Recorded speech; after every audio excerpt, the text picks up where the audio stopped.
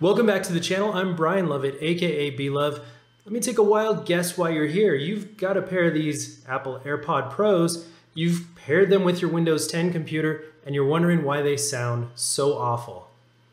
Let's get into it. So you've gone through the steps of connecting your AirPods Pros to your Windows 10 PC.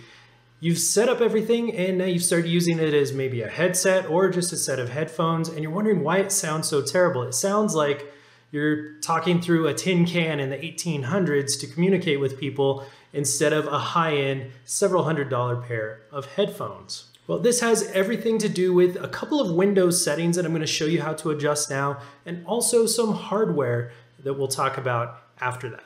What I'm gonna do now is show you why these have poor quality in the first place and what we can do to address some of that.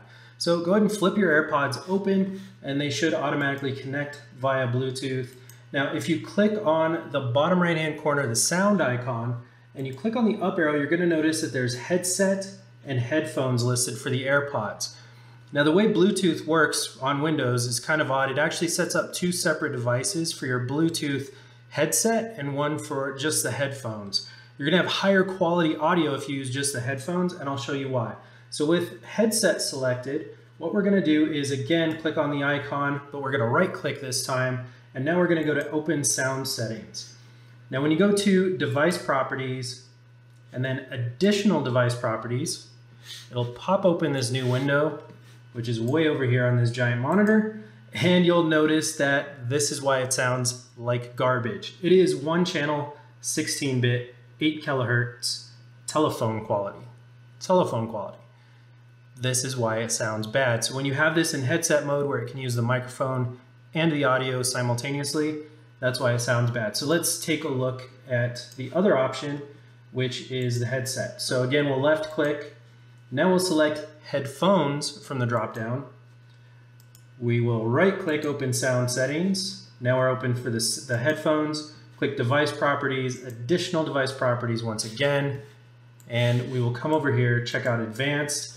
It is now stereo, so two channel, 16 bit 44,100 hertz, which is now CD quality. And that's why these will sound much better if you put it in this mode. Now, how do we prevent these headphones from going into headset mode when you connect it and always staying in headphone mode? I can help you with that too. So what you do for that is you go into your Windows control panel. So just go to control panel. You're gonna see the hardware and sound icon over here, and you're gonna go to view devices and printers. Once you click on that, you're gonna have your AirPods Pro come up in the list of devices. You're gonna connect to that, just click it a couple times. And then in the services tab, you're gonna see this hands-free telephony and go ahead and deselect that service. So click it off, click apply, and now what ends up happening is it disables the ability for this to be used as a headset. So now you're gonna get that high quality stereo 44,100 hertz CD quality audio all of the time. So as you can see, there are a couple of issues. One is that there simply isn't enough Bluetooth bandwidth to have high quality audio through the ears and also through the microphone simultaneously. Now there are some hardware solutions to this.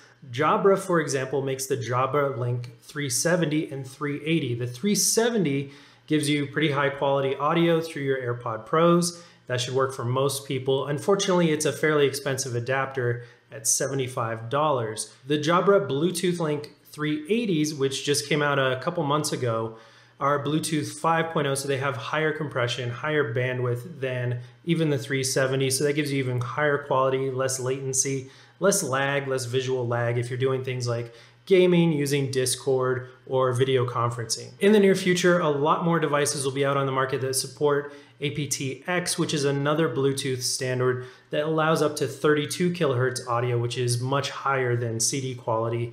So that should alleviate most of these problems and also reduce lag, latency, and all those other issues. Now, you might be thinking to yourself, Brian, why would I spend several hundred dollars on AirPods as well as another hundred plus dollars on a Bluetooth adapter that lowers latency and makes the sound quality acceptable? Well, it's a good question. If you're doing video conferencing and gaming, that sort of thing, I might actually suggest a wired set of headphones like these Sennheisers. I use these for my video conferencing for work and almost every meeting that I'm in when I first got these, everybody asks me what headset I'm using because the sound quality is so good on the other end of the beam. And the nice thing about these specifically is that this automatically mutes. So when you're talking like this, if you flip the headset up, it automatically mutes. And for someone who works at home with small kids, that is invaluable because sometimes I need to flip this up, mute it, and yell at them while I'm on a very important business call. So not that I ever yell at my kids, but if I did, this would be a fantastic way of doing it without having to take the time to mute my audio manually. So it's another option for people if you don't need AirPod Pros, but you do need a good headset for audio and video conferencing. This is probably a better solution for most people. Till next time, guys, thank you so much. We'll talk soon.